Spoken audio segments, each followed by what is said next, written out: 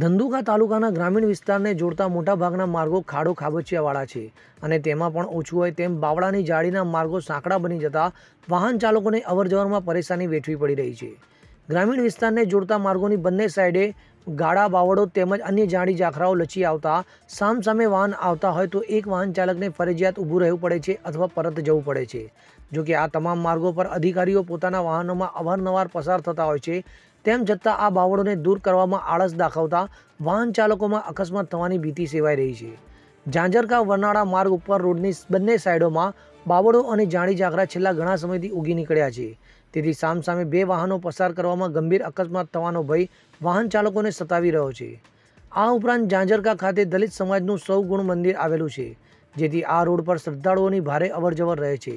અગાઉ પણ આ રોડની માર્ગ અને મકાન વિભાગના મંત્રીએ જાહેર કરેલા માર્ગ મરામત અભિયાન હેઠળ રજૂઆત કરી હતી. તેમ છતાં પરિસ્થિતિ જેસે થે જોવા મળી રહી છે. હવે તંત્ર સત્વરે આ રોડ પરથી બાવળો અને જાડી ઝાંખરા દૂર કરે તેવી લોક માંગ ઉઠવા પામી છે. આશાબેન ટિમ્મલિયા સાથે ખબર ગુજરાત લાઈવ દંદુકા.